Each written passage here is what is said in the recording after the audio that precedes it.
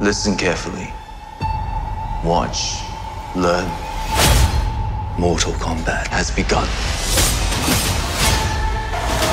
There's a war coming.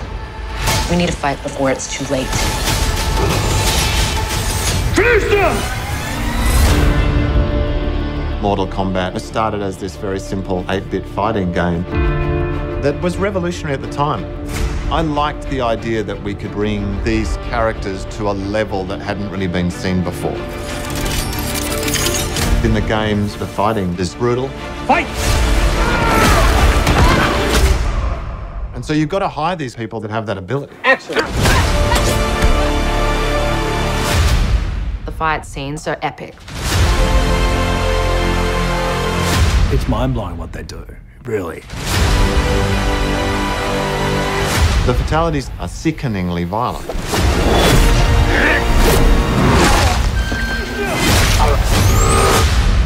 Flawless victory.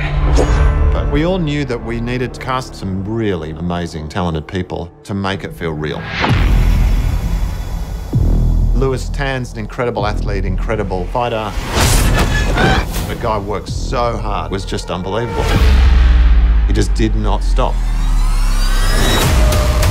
I come from a fighting background. Real martial arts to me is very similar to acting because it's all about expression. There's so much fighting in this movie that a lot of times after shooting one fight, we need to practice for some other fight that's going to take place because we just don't have enough time. I knew Joe was going to be Sub-Zero from day one. Joe's got that pure athleticism. I made the mistake of watching The Raid a couple nights before we fought, and I go, I gotta fight this dude? I gotta fight, I gotta fight that dude? Joe was faster than everyone. Joe was too fast. Joe was so fast, they had to ask him to slow it down for the camera. It was like two guys that's ever happened to. Joe Taslim and Bruce Lee. A fight scene and a drama scene, they are the same. In a drama, you have the lines, but in a fight, it's just the agony, struggle, the pain, those are our lines. You cast for what's in their brain, what they've learned over the years, especially with something like martial arts. It's impossible to bring someone up to his level quickly. That's just not going to happen. The same goes for Hiroyuki Sanada.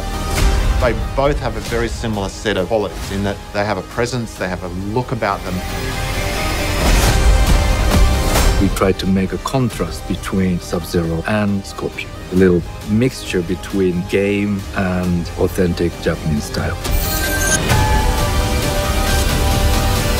Watching those two on set was one of the great privileges I'll ever have in my life. Get over here!